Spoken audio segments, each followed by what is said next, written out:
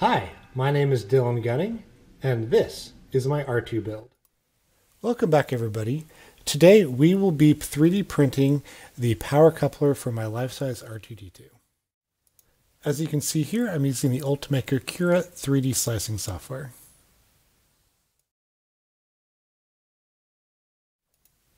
For 3D printing, I'm using the Anycubic Chiron. To get the best results for this design, I have my layer height set at 0.12, the infill at 25%, and the outer walls at 2.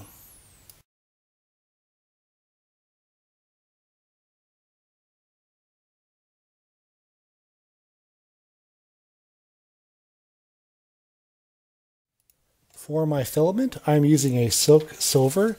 I provide a link in the description below so you can pick it up on Amazon. The great thing about this PLA is that when it is done, it looks like it's actually made out of metal.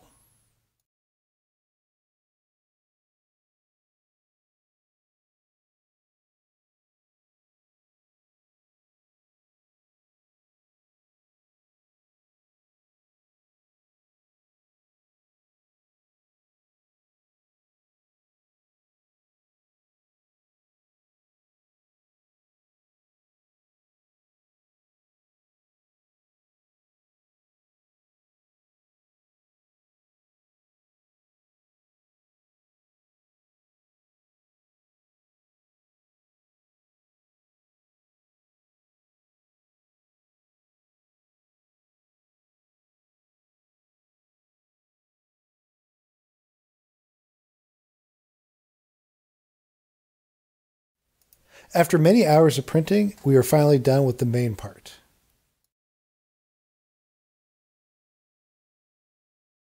On the back side of the power coupler, I had to do a little cleanup job to allow other pieces to attach. Some more detailed pieces to print. Now that we have all the parts printed, let's go ahead and put it together. You want to go ahead and put the small detailed pieces on the four corners.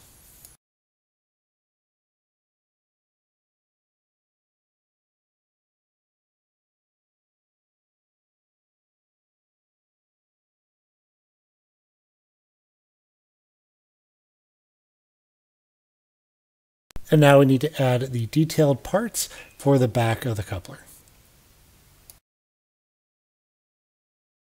When you're finally ready to install the coupler, don't forget you want to paint the detailed parts to the color of your astromech. So if you're looking to do a standard R2-D2, you're going to do the blue color. Thank you very much for watching today's 3D print. If you enjoyed the video, please give us a thumbs up and don't forget to hit the subscribe button to follow along with the rest of our R2-D2 build and all the other fun projects we are working on. Thank you.